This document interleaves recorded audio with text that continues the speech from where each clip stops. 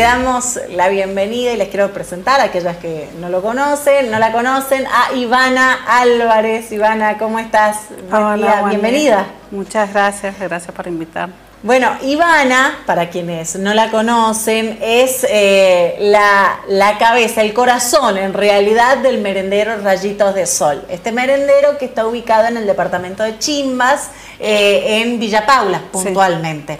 Eh, Ivana, ¿cuándo comenzaste con este merendero? ¿Por qué nace el merendero Rayitos de Sol? nace en el 2014 y empezamos con amigos de mi hija, chiquitos. Después se han ido sumando más niños. Ahora tenemos 300 chicos. ¿Con cuántos arrancaste? Con 10, con 10 niños. O sea, en 10 años, 300 chicos. Sí, se han sumado una banda. ¿Solo, ¿Solo chicos tenés ahora en el merendero? No, y abuelitos también.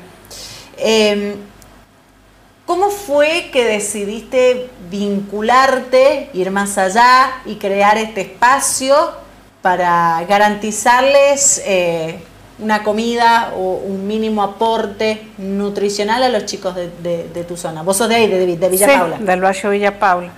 Y me gustan mucho los niños y cada vez que se van sumando les agarra más cariño. Claro.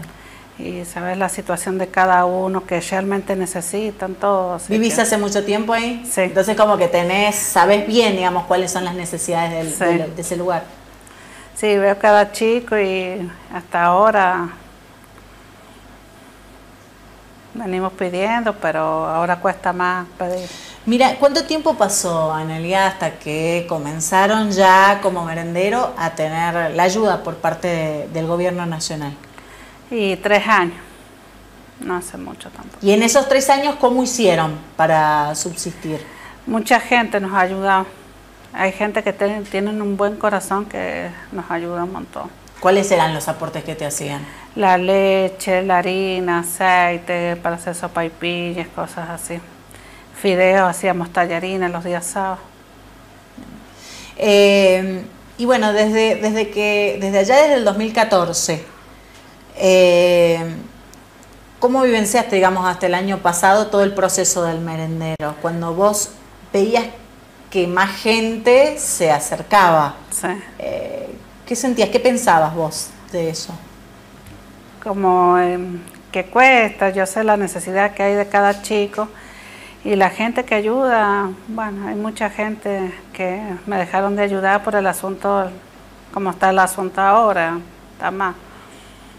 Cuando ¿Cuándo comenzaron a experimentar ya el corte, digamos, de lo que proveía Nación a los merenderos y comedores? El año pasado, de diciembre. ¿En qué mes? ¿En diciembre? Diciembre ha sido la última ayuda.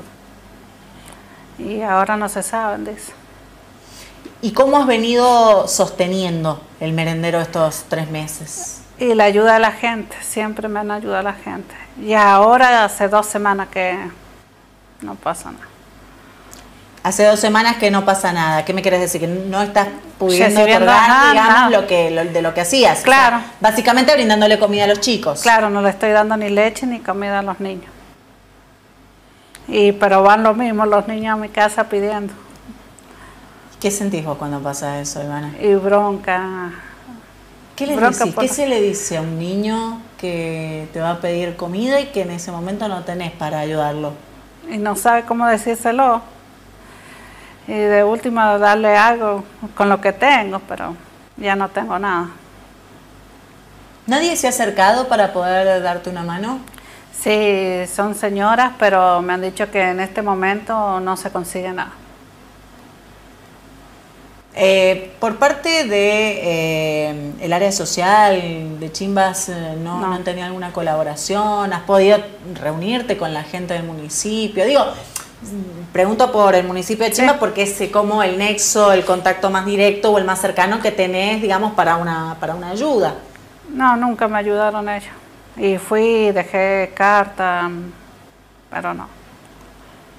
Mira, Ivana, eh, y por parte del gobierno provincial, eh, ¿has tenido algún tipo de novedad? ¿Has intentado algún acercamiento? Digo, sabe que en el último tiempo eh, el ministro Platero había anunciado eh, la compra de mercadería también para, asistir a aquellas personas que quedaron desamparadas. ¿Vos has tenido alguna novedad al respecto? Nada.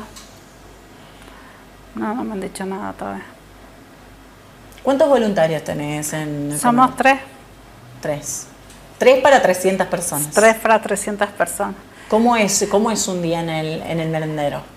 ¿Cómo, cómo trabajan? Y ¿Cómo yo es la empiezo rutina? a hacer la leche en la mañana para terminarla más o menos, porque a las 4 ya emp- empiezan, y bueno, ya está la leche, empiezan a decir los niños. Claro. Se acercan, digamos, espontáneamente. Sí, y, y algunas veces no me alcanzan para todo. ¿Y cómo haces ahí? Y ahí, no sé, trato de ver cómo hago, darles un poquito menos a los que a los que van al principio y darles a los que terminan. Fuera de cámara me comentabas algo que, que me pareció interesante, pero que no me llama la atención, digo, ante la coyuntura, ante la situación que, social que estamos atravesando actualmente, que tiene que ver con que eh, ese merendero que vos iniciaste para chicos, hoy también amplía eh, el rango familiar, hoy tenés también abuelos. Sí, abuelos y los hermanitos de 16, 17 que van a la juventud a pedir un vasito de leche y todo, y se les trata de dar porque no me gusta negarle a nadie. ¿Han pensado en, en alguna salida, en algún recurso, no sé, eh, algo para, para poder atravesar esta ola? ¿Hay posibilidades o, o hoy los comedores o los merenderos están atados de pies y de manos a lo que disponga el gobierno provincial y el nacional? No, yo sé que hay mucha gente solidaria y que la gente ve que a los niños les falta y tratan de colaborar como sea. Porque Estás sí, apelando a esa gente. sí, porque si esperamos al gobierno me parece que... ¿Qué le dirías a la gente, esa es tu cámara, eh, Analía, eh, a la gente que te está escuchando del otro lado, aquí en Canal 13, que son, son muchos? eh, me gustaría, Ivana, que vos puedas hablarle a esa gente y pedirle que, que- que te ayude, aquellos que estén en condiciones de, de poder hacerlo, ¿no? Claro, bueno, le pedimos al que nos pueda colaborar así, que todo es bienvenido, lo que sea. Y, si alguien quiere ayudarnos a ir a hacer la leche, también serán bienvenidos. Ver cómo nos manejamos, los chicos que tenemos. ¿Con qué te tienen que ayudar? ¿Con qué te podrían ayudar que eh, al merendero le sirva para poder sostenerlo?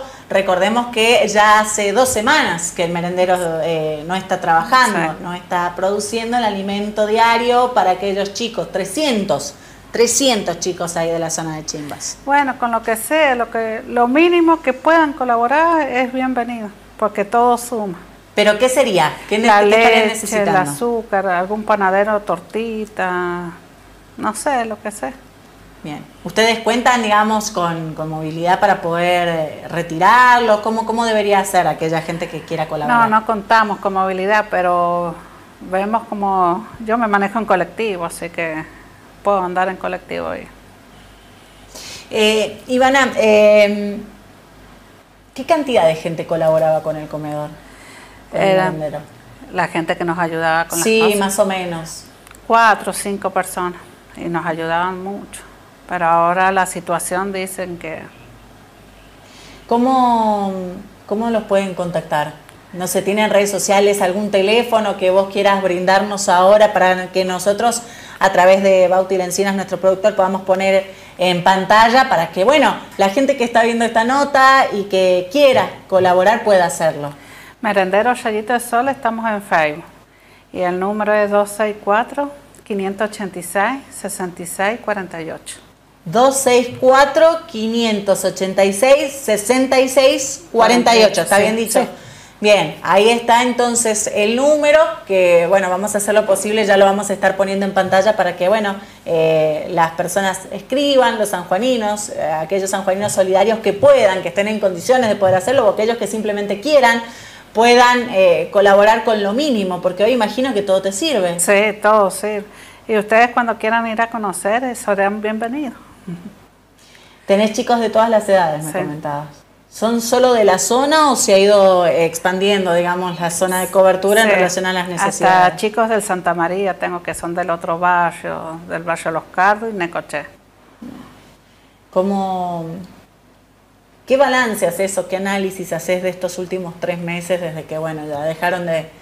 La, la ayuda paulatinamente fue, fue cerrándose. Y que hay más necesidad y se nota muy mucho. ¿Qué análisis haces de, esta situación? ¿Qué pensás? ¿Qué sentís? Y siento que hay más pobreza, que necesitan más y ahora tienen que dar más ayuda al gobierno para esos niños que no tienen nada. ¿Crees que, vaya a llegar, que vaya que se vaya a normalizar esta situación o no para mí se va a poner peor. Sí. Crees eso sí. Porque hay chicos que no tienen ni para desayunar en su casa. ¿Y qué se piensa cuando vos sentís o ves ese panorama eh, y de repente te levantás y ves ahí el, merendero? Y da bronca, porque sí, ¿cómo podemos llegar a esto?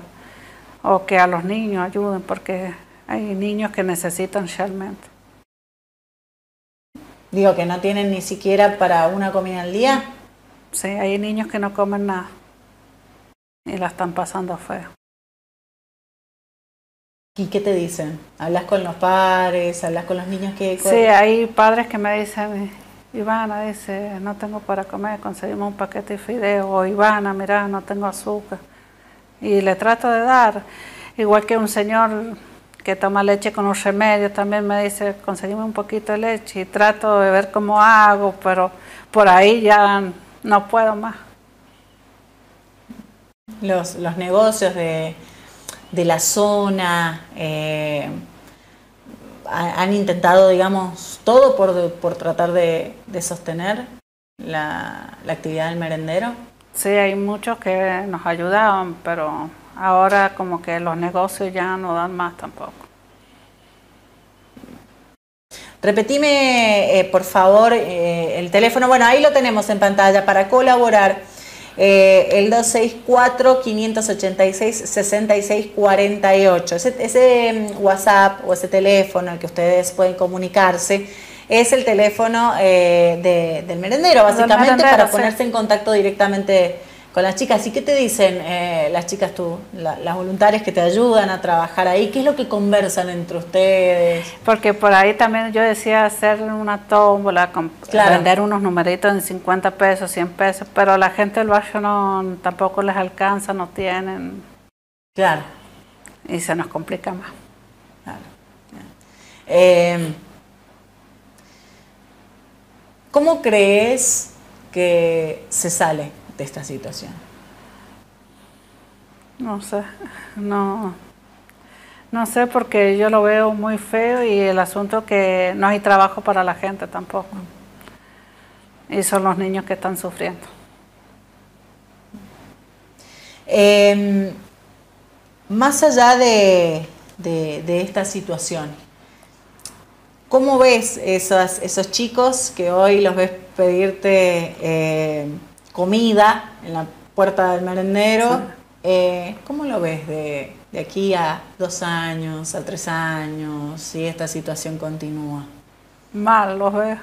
Los veo mal porque no hay nada que se pueda hacer por el asunto que está muy mal la situación y los niños están sufriendo y ellos pensarán.